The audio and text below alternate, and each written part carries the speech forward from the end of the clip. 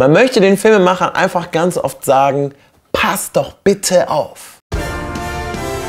Hallo zusammen bei die Filmfabrik. Es gibt jetzt die elfte Folge von den Filmfehlern, aber auch hier gibt es wieder nur 10. Wir starten heute mit einem klassischen Fall von mangelhaftem Continuity Management. Also äh, das sogenannte Community Management sagt ja aus, was passiert und wie ist dann, wie geht's weiter.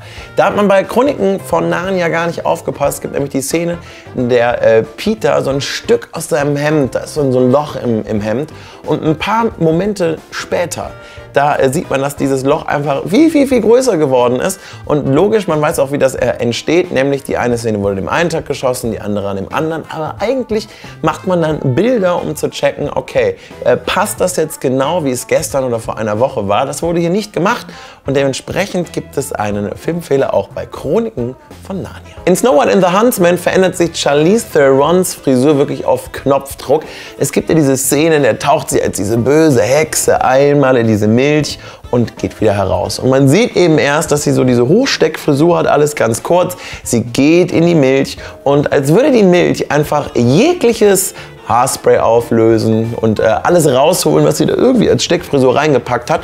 Und sie kommt aus der Milch raus und sie hat plötzlich lange Haare. Ist schon klar, es sieht irgendwie geiler und ein bisschen erotischer aus, wenn äh, die kompletten Haare auch lang sind und voller Milch sind. Dann sollte man sich aber vielleicht erstmal überlegen, muss sie dann da mit einer Hochsteckfrisur rein? Nein, muss sie nicht. Soweit ich mich erinnern kann, auch das erste Mal dann jetzt dabei, die Truman Show. Und es gibt ja die Szene, in der Jim Carrey in dem Boot ist und dieser Sturm kommt und er versucht sich mit dem Tau irgendwie so festzubinden und festzumachen.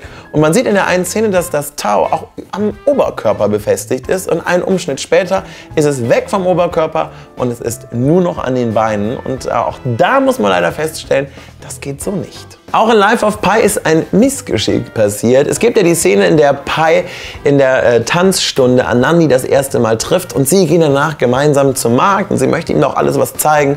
Und man sieht eben auch dann äh, im Vordergrund ein Mädchen sitzen, oh, mit Haaren und plötzlich nach ein paar Umschnitten hat sie Blumen im Haar. Und man sieht aber überhaupt nicht, dass sie da irgendwas macht mit Blumen oder dass sie sich irgendwie bewegt. Nein, plötzlich sind einfach Blumen im Haar. Und ähm, das macht natürlich überhaupt gar keinen Sinn, weil ich meine, ich habe jetzt nicht auch auf einmal plötzlich ein anderes T-Shirt an oder andere äh, Blumen, vor allen Dingen andere Blumen im Haar ne? oder überhaupt Blumen im Haar. Und äh, da hat man einfach nicht aufgepasst und die Szene eben ein paar Mal neu gedreht. Und vielleicht war das auch einfach so eine kleine äh, Rotznase, die sich gedacht hat, so pack, jetzt ärgern wir die mal. Kann ich mir auch gut vorstellen, ne? wenn man irgendwie so eine großen Produktion ist und denkt so, ha, mal gucken, ob es irgendwem auffällt. Der kümmert sich hier eh immer nur um die großen Stars. Ich mal mir jetzt mal was ins Gesicht und guck mal, ob ich irgendwann auf YouTube lande. Wenn das die Intention von dem kleinen Mädchen war, kann ich nur sagen, du hast es geschafft. In den 80ern wurden ja viele Tanzfilme gedreht, so auch Footloose, was ja ein ziemlich großer Hit war. Und dort ist es eigentlich nicht nur ein Filmfehler, sondern echt ein dicker, fetter Fauxpas, bei dem ich es mir auch nicht erklären kann, warum der nicht aufgefallen ist. Der Film spielt ja selber in Iowa. Es gibt aber hier die Szene, die ihr auch hier in dem Bild sehen könnt mit Kevin Bacon. Da sieht man im Hintergrund die Rocky Mountains. Verrückterweise sieht man aber die Rocky Mountains nur, wenn man in Utah ist. Also warum lasse ich einen Film in Iowa spielen, drehen aber in Utah? Vielleicht, weil es günstiger ist und was auch immer da vielleicht äh, eine Rolle gespielt hat. Aber dann suche ich mir vielleicht einen Ort aus, in dem nicht ganz offensichtlich die Rocky Mountains drin sind. Das hat keiner bedacht.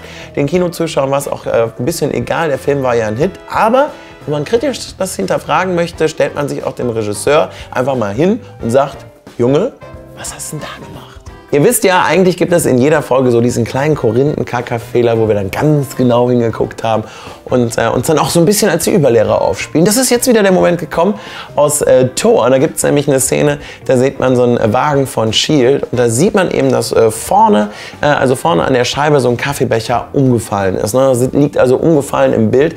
Beim Umschnitt steht dieser Kaffeebecher aber wieder und beim nächsten Umschnitt liegt er wieder auf der Seite. Das sind unfassbare Kleinigkeiten und es ist fast ein Unding und äh, ein eigentlich unmöglich, sich auf jedes kleine Detail äh, zu konzentrieren bei so einem Filmdreh.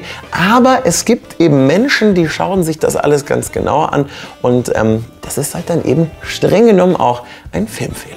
Dark Shadows ist jetzt nicht gerade mein Lieblings-Tim Burton-Film, ist für die Filmfehler aber egal, denn hier geht es ja darum, was habt ihr denn falsch gemacht? Und bei Dark Shadows ist es auch so, dass Barnabas einmal, also gespielt von Johnny Depp, einmal in diesem Sarg äh, gezeigt wird, wie er da drin liegt, wie er da aufsteht und so weiter und so fort. Und dort ist einfach wirklich nur dieser Sarg zu sehen. In einem Umschnitt aber ist auf einmal auch der Deckel an der Seite und das macht ja auch keinen Sinn. Ich meine, auch wenn äh, da ist überall immer mit so ein bisschen Magie und Vampire und Co. Äh, immer ja was passiert. Aber warum der Deckel erst da ist und erst dann wieder nicht, beziehungsweise umgekehrt, das kann man nicht erklären. Und äh, bei Tim Burton, bei Dark Shadows aus meiner Sicht, kann man sich so einiges nicht erklären, aber das ist keine Filmkritik, die gibt es ja an anderen Tagen hier.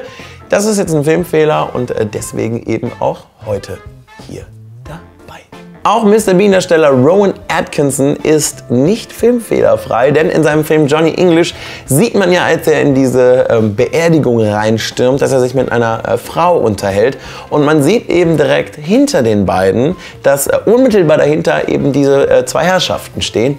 Beim äh, Umschnitt und in der Totalen sieht man aber völlig egal, wie die Kamera eingestellt wäre und egal, wie die in welchem äh, Winkel sie stehen würden, sie können definitiv in dieser Szene nicht hinter äh, Rowan Atkinson gestanden haben. Das heißt, der Regisseur hat eben, egal wie er es gedreht hat, immer die Leute wieder neu gestellt und nicht darauf geachtet, dass sie eben wieder richtig stehen, wie man es in dieser einen Szene gesehen hat. Auch in dem Hitmusical aus dem letzten Jahr Les Miserables ist ein ziemlich massiver Filmfehler passiert.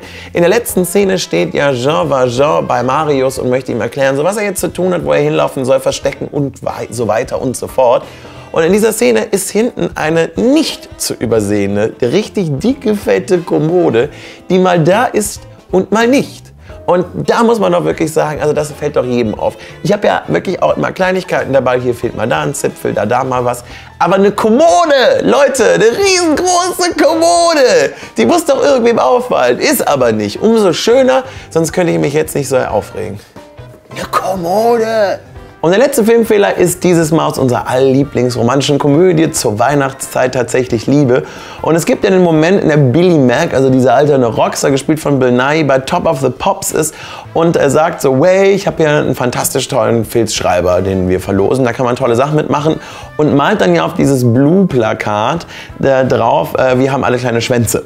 Und äh, wenn man genau darauf achtet, sieht man aber, dass diese Sprechblase einmal so aussieht und eben einmal anders. Man braucht also mehrere Anläufe, um diese Szene zu drehen, hat aber eben nicht darauf geachtet, dass die Sprechblase gleich ist und auch die Schrift ist so minimal äh, eben anders. Aber ich meine, wenn man das ein oder andere Mal schreiben möchte, ihr habt kleine Schwänze, beziehungsweise wir haben kleine Schwänze, dann kann da schon mal ein Fehler passieren, wie eben auch in 100 anderen Filmfehlern, wie nämlich in all den alten Folgen.